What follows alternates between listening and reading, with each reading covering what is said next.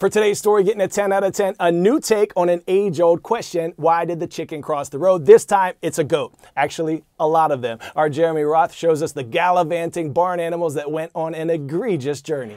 Here's some crazy caught on cam video captured in Texas after a herd of goats got loose and then got moving. Go, goats, go. You know, I feel like this story deserves the old punometer, don't you? I know what you're thinking. You've got to be kidding me. Okay, here we go.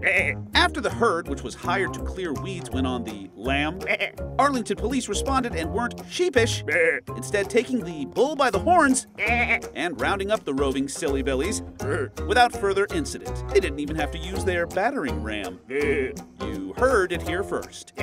Five, six, seven, seven puns. Not bad. that counts too, by the way.